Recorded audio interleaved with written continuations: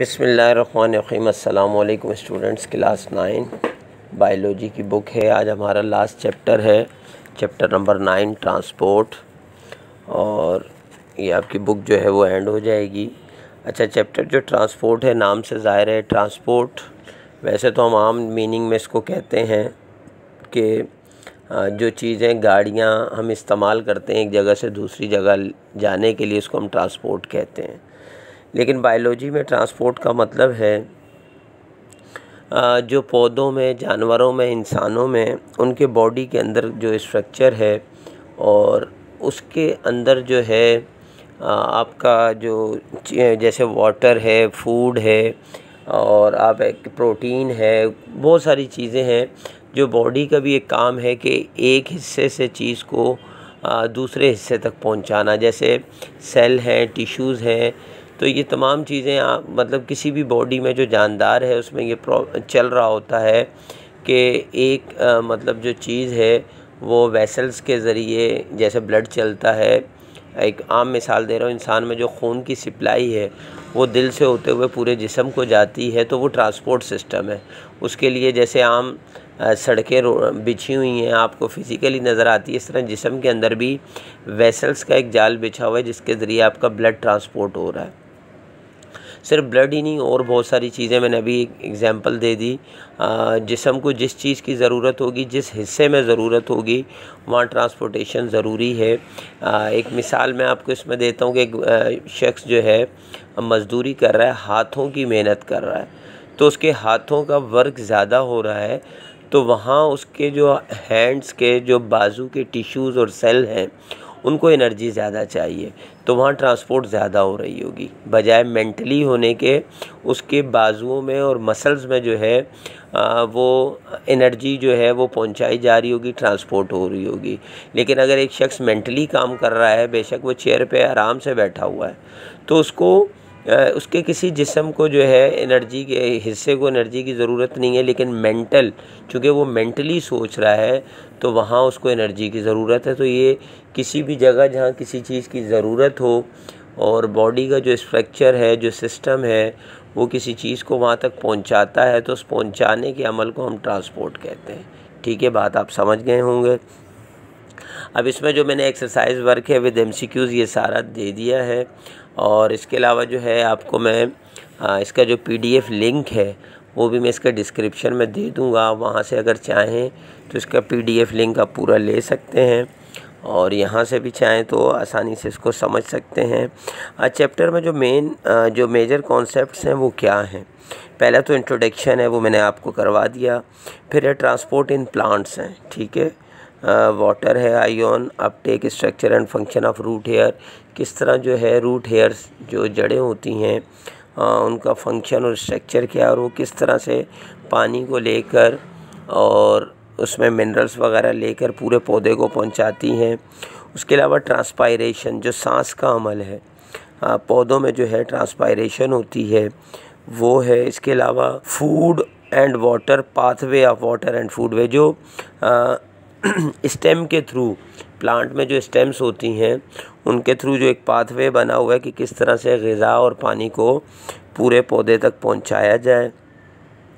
उसके अलावा इसमें डिस्कस होगा स्ट्रक्चर और function of xylem and phloem उसके अलावा इसी तरह ट्रांसपोर्ट इन एनिमल और ट्रांसपोर्ट इन मैन ये दोनों चीज़ों को भी हम पढ़ेंगे जिसमें ब्लड है components of blood and their functions हैं। मतलब जो ब्लड से रिलेटेड उसके अज्जा हैं और उनका क्या अमल है, क्या काम करते हैं फ़ंक्शन वो है डिसऑर्डर्स ऑफ़ ब्लड ब्लड की ख़राबियाँ, ठीक है?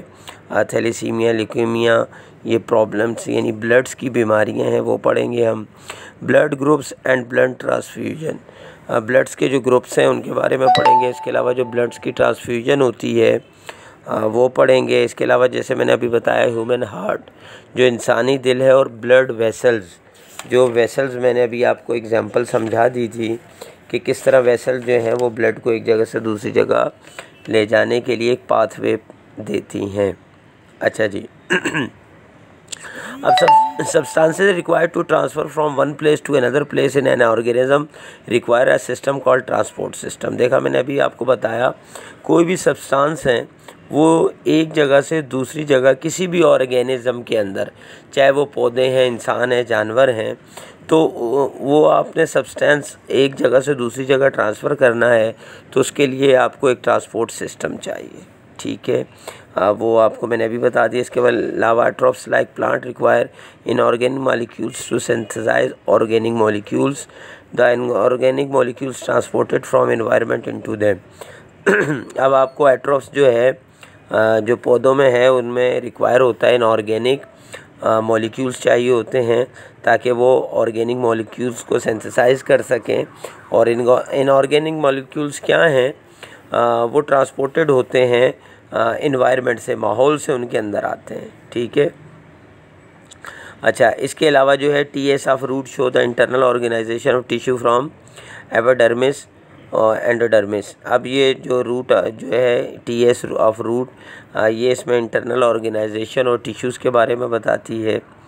ठीक है, उसके अलावा जो है root absorb H two O ठीक है एंड मिनरल्स अभी मैंने आपको बताया, जड़ें जो है, वो ज़मीन से मादनियात और पानी वगैरह जो हासिल करती हैं, वो गज़ा है पौधों की। तो उसमें पैसिव ट्रांसपोर्ट और एक्टिव ट्रांसपोर्ट दोनों तरीके पड़ेंगे। आ, उसके अलावा जो अपवर्ड मूवमेंट है उसी को ऊपर की तरफ़ लेके जाना उसी पानी और मिनरल्स को एसेंट ऑफ़ सैप कहलाता है ये। ये पढ़ेंगे। इसके अलावा solute into soil should be low for root absorption अच्छा उसके मतलब ये तमाम चीज़ें जैसे मैंने आपको बता दिया सबसे ज़्यादा जो इस चैप्टर का हिस्सा है वो प्लांट्स के बारे में है और प्लांट्स ही के बारे में हम उसमें पढ़ेंगे। अपनी गज़ा कैसे बनाते हैं फिर उसको ट्रांसपोर्ट किस तरह से करते हैं फिर उनमें ट्रांसपायरेशन का सिस्टम सांस लेने का सिस्टम वो कैसे होता है उसके बाद जाके थोड़ा सा जो हम हिस्सा है आ, वो इंसान और जानवरों के बारे में हम उसमें पढ़ेंगे और उसमें भी जो टॉपिक मेन है वो ब्लड के बारे में है कि खून और खून के जो कंपोनेंट्स हैं जैसे red blood cell white blood cell platelets plasma ये चीज़ें हम पढ़ेंगे। फिर उसके अलावा मैंने आपको बताया कि जो डिसऑर्डर बीमारियाँ वगैरह हैं, वो पढ़ेंगे इसमें। वो आपको अच्छी तरह ये मैं आपको एक समरी बता रहा हूँ। इसके अलावा हार्ट की जो मस्कुलर पंप हैं और उसमें फोर चैम्बर्स होते हैं। फिर सर्कुलेशन ऑफ़ बॉडी किस तरह होता है, वो सर्किट कहलाता है। और जो मेन सर्किट होते हैं pulmonary circuit heart to lungs and lungs to heart और इसी तरह का होता है systematic circuit heart to all body organs and all body organs to heart तो ये हम पढ़ेंगे पंपिंग ऑफ़ ब्लड पढ़ेंगे, ठीक है? और फिर phase of heart beat cardiac muscles ठीक है? इसके बारे में आर्टरीज वेंस कैपिलर कैपिलरीज ये जो हैं ब्लड वेसल्स ये सब ट्रांसपोर्ट ऑफ़ ब्लड होती हैं, इसके बारे में पढ़ेंगे। तो ये तमाम चीज़ें जो हैं आप इस चैप्टर में पढ़ चुके होंगे, नहीं भी पढ़ा तो आप ये पढ़ेंगे। मैंने एक जर्नली समरी दे दी है, बहुत इजी ताकि आपको ये चीज़ समझ में आ जाए। और अगर कोई चीज़ आपको समझ में ना आई हो तो आप वो ज़रूर मुझसे कमेंट्स में पूछ सकते हैं। और आप इसको जो है, ये एज़ आ नोट्स आप ये चीज़ यहाँ से ले सकते हैं। इंशाल्लाह नेक्स्ट वीडियो में मिलते हैं। जब तक के लिए इजाज़त दीजिए।